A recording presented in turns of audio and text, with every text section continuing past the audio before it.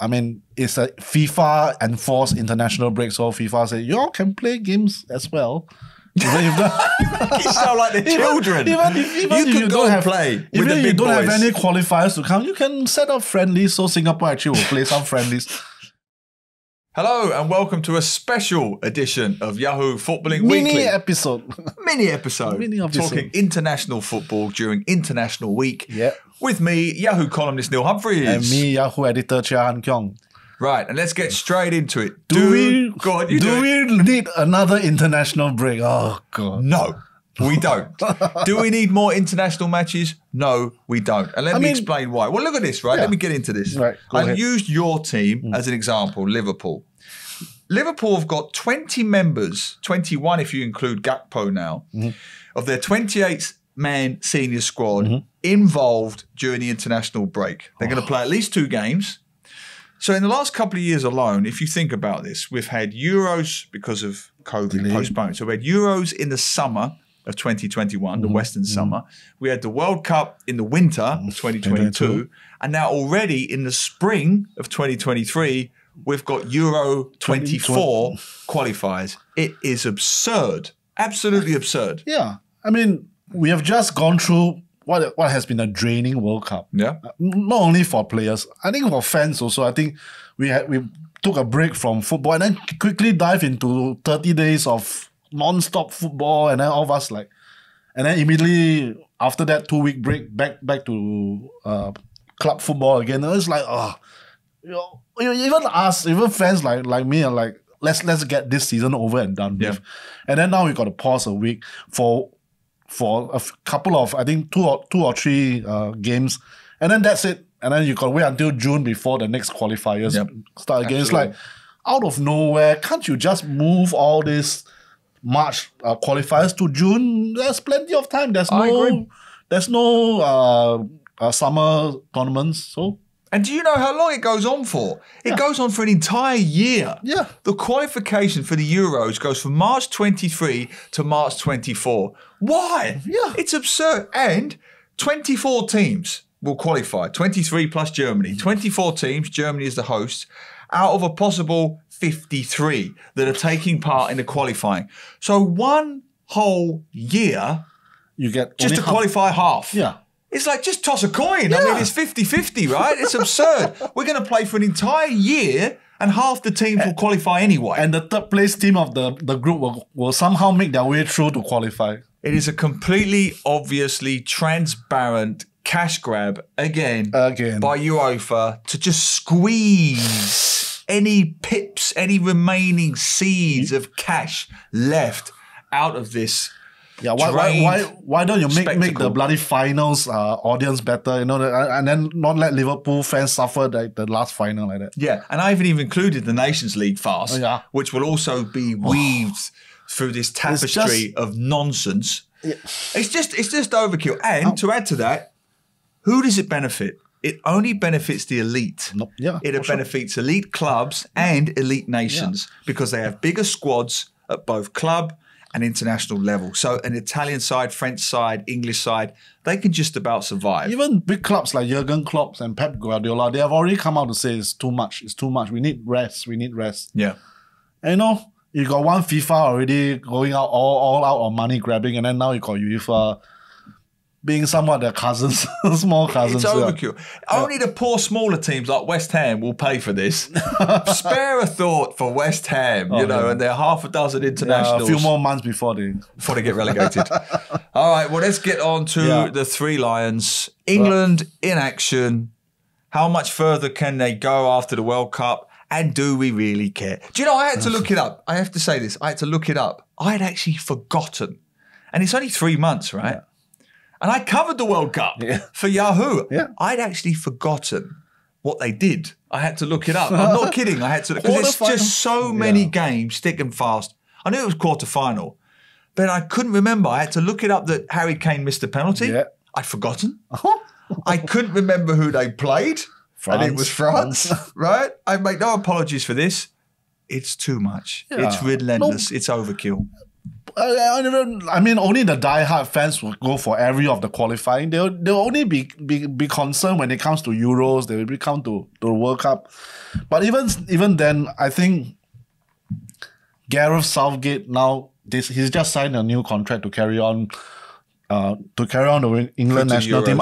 Well, I mean, he he is a decent person. It's almost Yeah. Gary Lineker is. Yeah, yeah. Yeah, no. So so so it, it's not. I mean, every time we try to want to say a bit a bit uh, criticize him, you you're like, uh, should I? But in all fairness, that World Cup quarterfinal showed that this is as far. This was as far as Southgate, who who didn't have any actually good uh, club football record to, to begin with. But you know, he he was he's a common sense kind of manager Correct.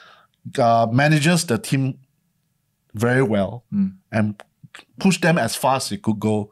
And now you need that kind of tactical awareness that, you know, those really good club managers bring to to, to the national team to actually bring that England, who do have a quite a lot of young players coming up. I think they would be, benefit more with a tactical based manager. I agree. Hmm. I do think he's tactically aware. I just think he's innately too conservative. yes. He will always, every tournament, take England as far as the knockout stages, Hmm. guaranteed. Quarterfinals, round of 16, bare minimum. But that's because of the quality of the squad. In the last cycle of, what is it now, eight years or so, that is the best young crop of players England has produced, arguably in my lifetime. You know, I grew up with you had a Glenn Hoddle or you had a Paul Gascoigne, but you didn't have Bellingham, Foden, Grealish, Rashford, all at once. Yeah. That's extraordinary with terrific fullbacks in Alexander Arnold, who can't even get in the side, Carl Walker, and so on. Carl You know, Walker. Let's not mention Carl Walker. Keep your pants on.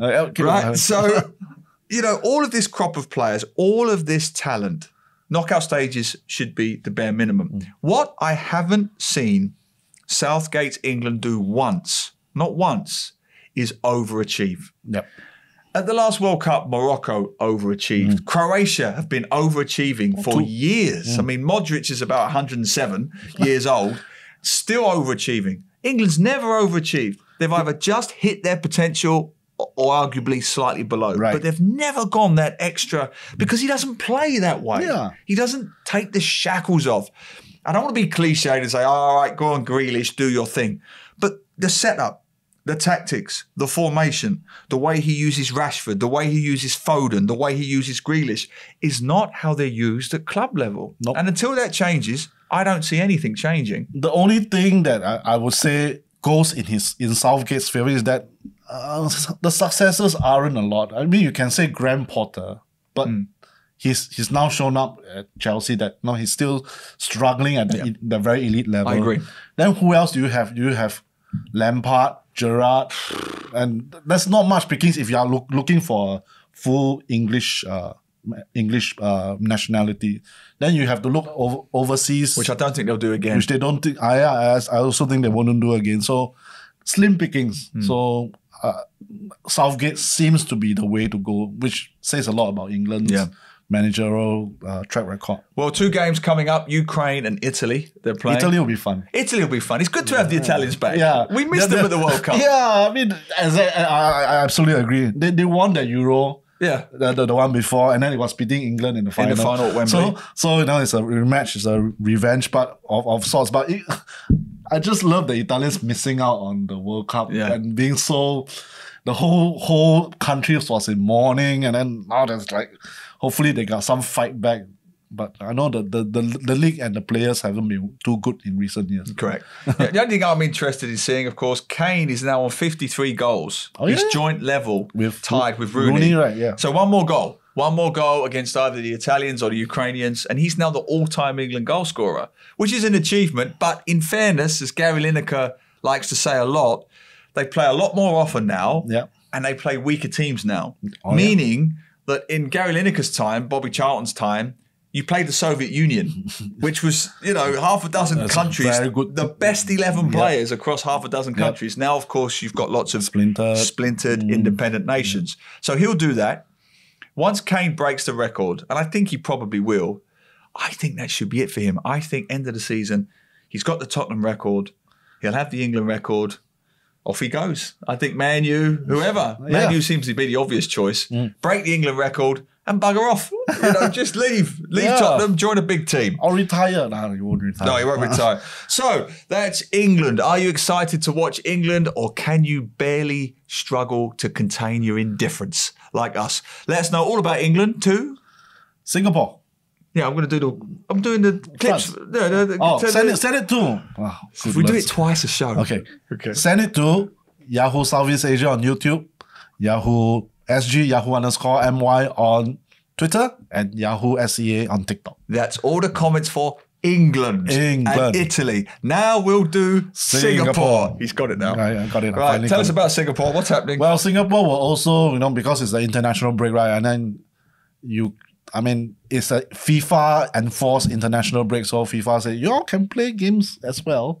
You sound like the children. Even if, even you if you don't have play even if you don't boys. have any qualifiers to come, you can set up friendlies. So Singapore actually will play some friendlies just to keep the the paper fresh. You know, you got Oh, that's Hong Kong and Macau.